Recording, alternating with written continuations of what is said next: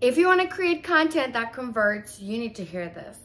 We're going to talk about how to deliver your message to the right people. If we haven't met yet, I'm Karma Hunter, conversion strategist. I help coaches, consultants, and online service providers get clients consistently without social media burnout and scale with evergreen systems and strategies. Today, we're talking about the awareness level of your audience. Awareness level of your audience should determine how you're going to deliver your message. So where is your ideal client in your niche? How much do they know? What is their awareness level? This is very important when you're creating content and delivering your message the right way. If you think about the awareness level of your audience, then how you say what to say should be different depending on the awareness levels. There are five awareness levels in marketing. Number one, unaware. They're unaware that they have a problem. Number two, they're problem aware, but they're not aware of the solutions and everything else.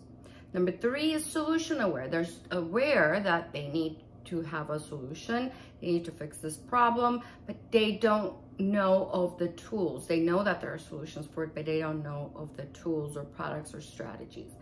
And number four is the product aware, the tool aware, strategy aware. These are people who are aware of the problem. They, they need to fix the problem. They know that there are solutions for it. They know that there are products, tools, strategies for it.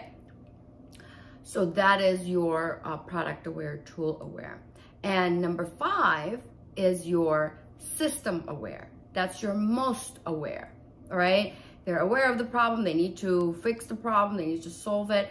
Uh, they're aware of different solutions. They're aware of different products and tools and strategies there are. And now they need something bigger. They need a whole system, right?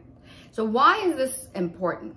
This is very important because it's going to change the way you are wording your content and how you're explaining about it, right? Because someone who's not even aware of the problem that they have versus someone who's aware of the problem, the solutions, the tools, and everything that else there, that there is, it's not really gonna serve them both, that same piece of content. Now, you can serve different awareness levels, but you can't do that within the same content. Your content needs to be adjusted depending on who you want to attract with that piece of content, right? Let me give you an example from my business. I talk a lot about copy that converts, right?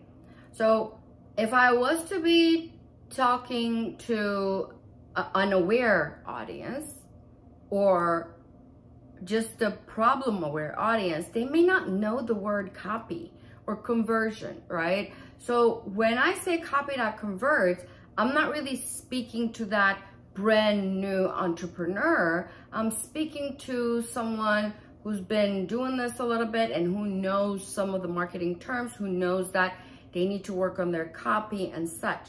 Now, if I was to speak to the unaware or, or just problem aware audience, then I would word it differently and say maybe um, write posts that will attract clients because the verbiage is a lot more simple. It's more, more in layman terms. There's not much of the, um, the advanced terminology. So a, a, brand new entrepreneur would understand writing a post to attract clients, but they may not understand what copy that converts mean as they may not be aware of what copy is in this context and they may not know what conversion is in this context, right? So that's why it's very, very important how you say what you say it. Let me give you an example from my life as far as the stages of awareness goes. All right, this is years ago when I started my business. Things were moving so slow and a lot of things were left halfway, not much was getting done.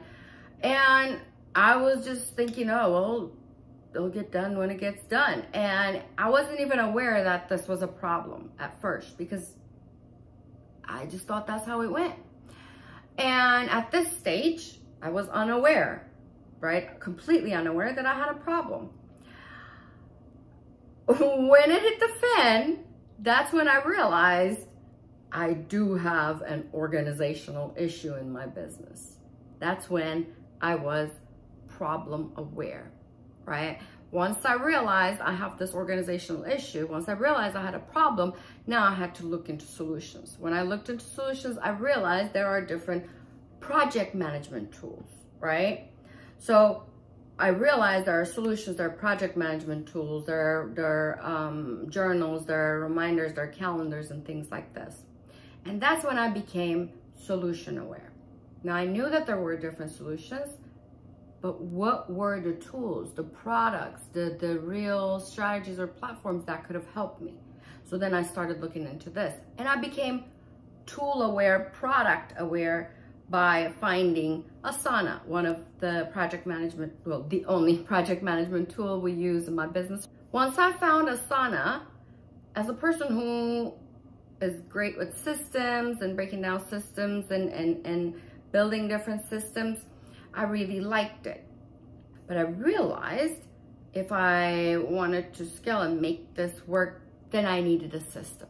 At that point, I was already using Asana. I was already tool and product aware, but I knew because now I was the most aware, I needed a more efficient and more effective system to uh, manage our projects at a scale that's when I was the most aware. I was the system aware.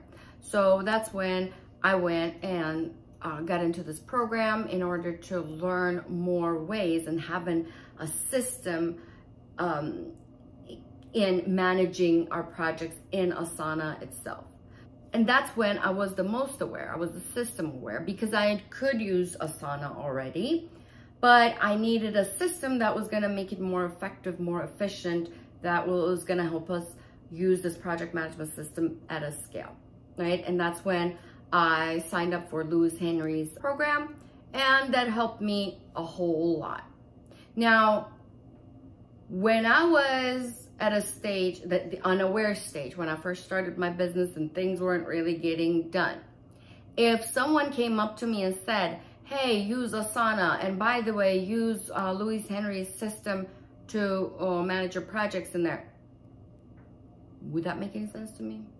No, because I didn't even know that I had the problem. I didn't even know what a tool like Asana did, or I didn't even know what a, a, a system, a program like Lewis Henry's would give me, right? So that would be literally crickets of me saying, okay, great, right? And I wouldn't be a warm lead to sign up for Asana or I wouldn't be a warm lead to even sign up for Lewis Henry's program, right? In our content, we can educate our target audience by creating the content that aligns with their awareness level.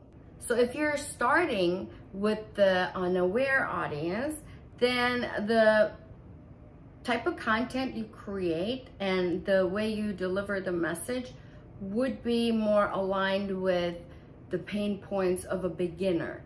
The would be aligned with um, helping them discover what type of problem they have and that there are solutions for this problem and then moving them on to the steps of awareness. So that's why it's very, very important how we deliver our message and our content. When you think about the awareness level of your target audience and create content accordingly, um, by using their pain points, their keywords, their their their phrases that they, that you, they use, you're gonna be able to meet them where they are. And that actually starts the understanding. That starts building the like and trust because we are now familiar with what you're talking about. It's not, if your content is way too advanced and you're using so much terminology, then you're not going to be attract you're not going to be able to attract those people. And at some point, if your content is more advanced than the people that you can serve, you're going to attract the wrong people. Let me know in the comments below, what's the awareness level of your ideal client? Are they unaware? Are, are they problem aware? Are they solution aware? Are they uh, product aware? Or are they most aware? Let me know in the comments below. See you next time.